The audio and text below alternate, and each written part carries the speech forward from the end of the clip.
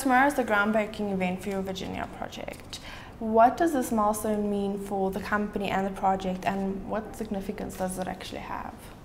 So this has been this has been the culmination of many many years of work.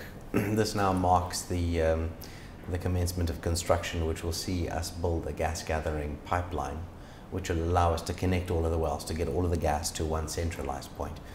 Up to now, the um, the pilot plant which we've been running from is um, is only one pl- is only one well by itself. Whereas now we have the ability to connect all 12 wells, which mm. obviously gives us economies of scale. But then, more importantly, it also lays the foundation for all new future wells to be connected into the pipeline.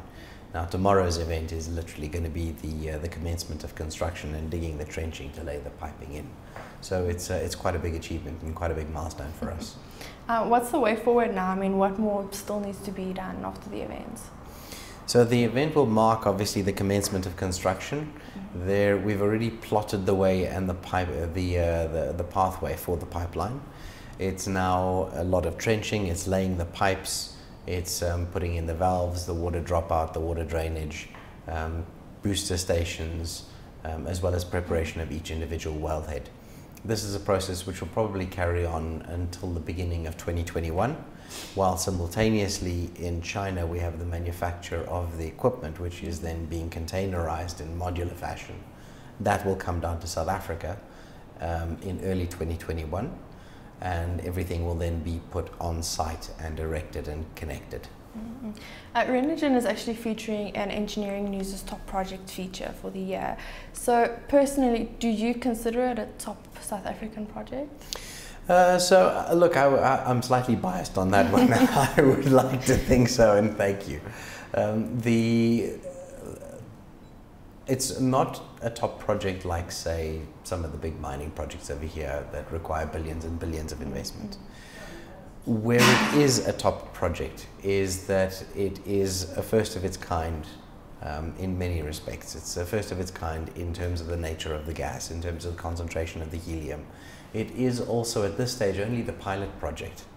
There is another project after this. There is a phase two to our project, which is significantly larger, at which point we get, then get the economies of scale of a much, much bigger project. So, yes, I think it is important. It's important because we are now the first commercial LNG operation in South Africa, and that has not been done before. It marks South Africa becoming one of eight countries in the world to export helium that is a major event for the country and it puts us on the map. You know, what Renergen is doing over here puts South Africa on the map in global terms. So I think it is one of the important projects in South Africa. Do you think it could be the boost that the country actually needs?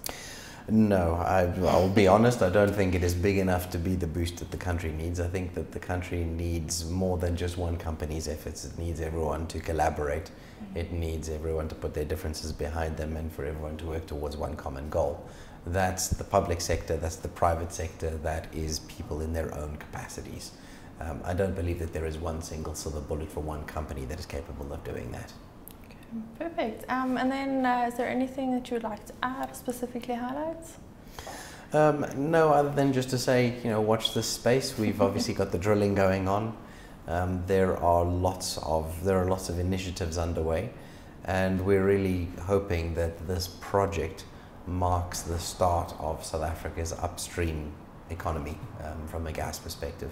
Because the sooner that South Africa is capable of developing its own natural gas resources, the less we need to import. And obviously, as an export driven economy, the, more, the less we import and the more we export. That's just better for everyone.